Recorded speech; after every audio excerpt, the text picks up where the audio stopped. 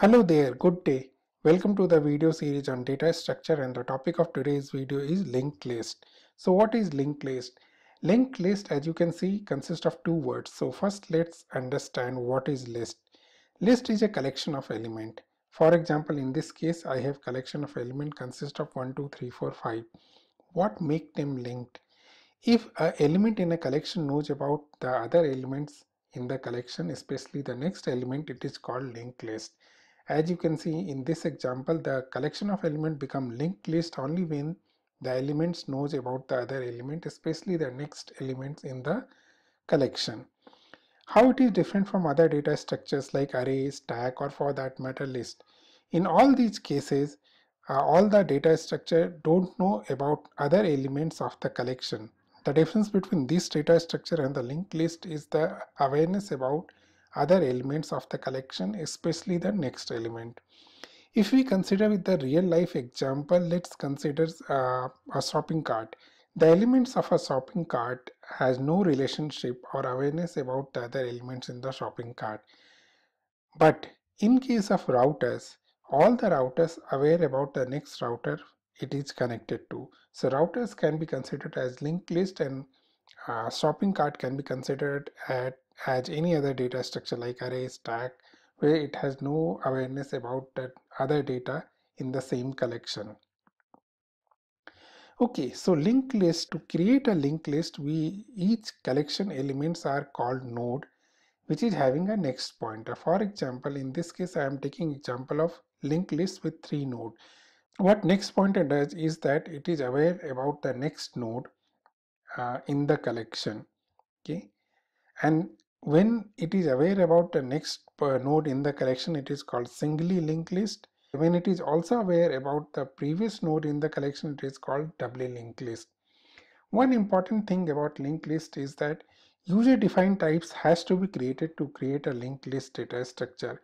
You cannot convert built-in integer character or any other type into a linked list type. You need to have your own user defined type, for example, struct classes, templates to create a linked list. We are going to look into five topics in this particular video. How to create a linked list, how to add elements to the linked list, and then how to access elements of the linked list, how to delete elements from the list, and how to delete the list, list itself. So uh, that's all. Let's go into the code. Okay, to create a linked list, we first need to create a data structure for linked list uh, the user defined type. So let me create a structure called ll and to, just for simplicity we have only one value inside the linked list. And we have a we are creating a singly linked list with next pointer. Next. So this is my data structure. And I want to create a function which will create the linked list. So I'll say ll star create list and this is the element on which we need to create the list. So how will I implement that I'll create a uh, linked list as new ll I'll say linked list value is the element that is passed. I'll say linked list next is null pointer. And I am returning this linked list okay so I have created a linked list. How will I make use of it? So in the main program I can say ll star my list equal to create list.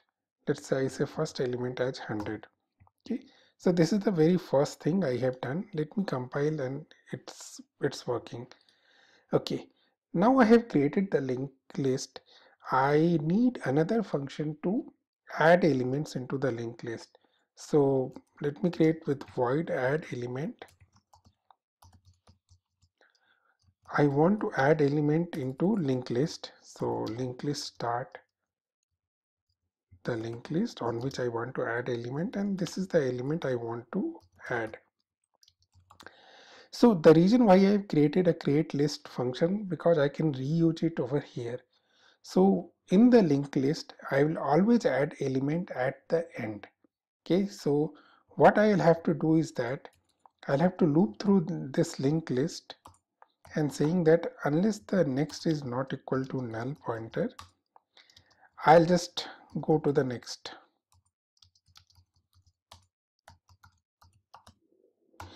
Now if the when I went till the next uh, till the last element in the last element what I will do in the last next of the last element I'll call create list with the element. So I have reused this function to add element into my list now I can call this add element function over here uh, with my list. And let's say now I want to add 200 into here. Let me add some more. 300 need not to be in a, some order. Let's say 150 and again 22 to 2 okay. Now let me go ahead and compile. Till now everything is fine. Okay. I have misspelled it.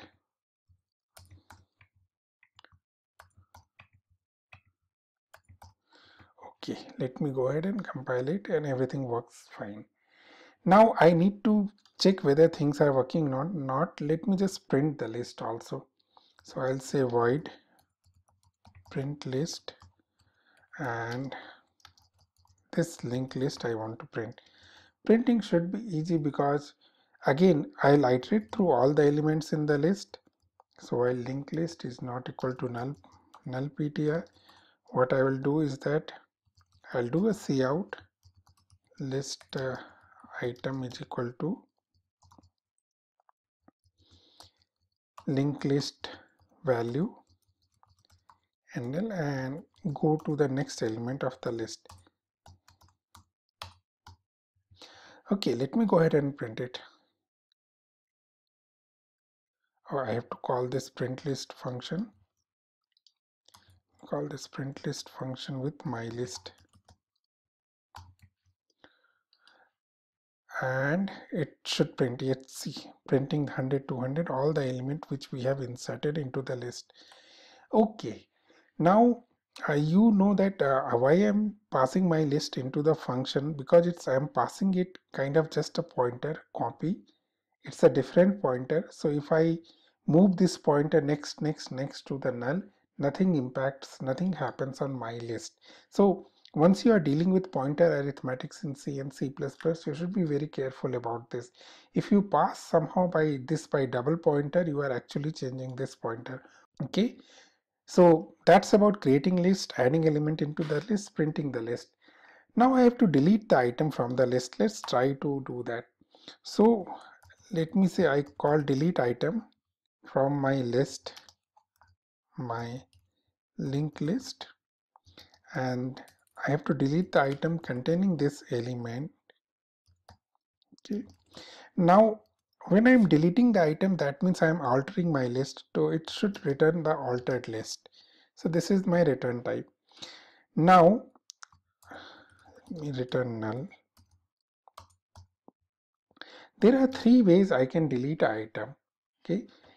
Uh, whether the item can be first item on the list and item could be middle item of the list for example 300 or it could be last item of the list. So everything will have different implementation. Let's go talk about the first element. So first element means if I say link list incoming link list value is actually equal to element. So it's the first item on the list. So what I will do if the linked list has only one item, I'll return null because after deleting it, it will become null. Otherwise, if it has more item, I'll return the next. So I'll have to check if linked list next is not equal to null pointer, I'll return the linked list next. It's one of the simplest use case. Else, okay, I'll return null let me go ahead and check it. So just let me compile it. Uh, sorry comment it. And I'm printing the list before deleting. Now I'm just creating.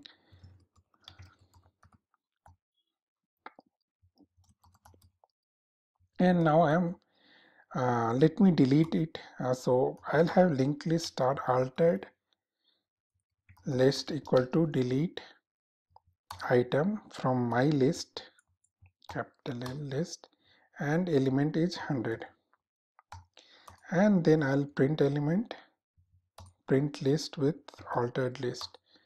Okay? Makes sense? Let me go ahead and compile it. And it prints nothing because after deleting this there is nothing left in the altered list okay so now this is about deleting the first item. How about middle item or the last item? So if this is not the first item then it must be middle item or the last item. Now to delete the middle item or the last item we need to have a reference to previous pointer. Okay so that if I am deleting something in the middle I can assign the pointers. So let me get previous item item is linked list.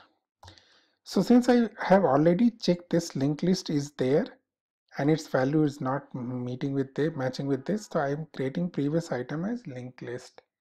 Okay. And what I am doing that I am also creating a search item which is actually equal to linked list dot arrow next because I've already checked the first item if it is not the case I'll check with second item onwards. So while I'm doing while search item is not equal to null pointer it's very simple algorithm nothing complicated about, about it over here.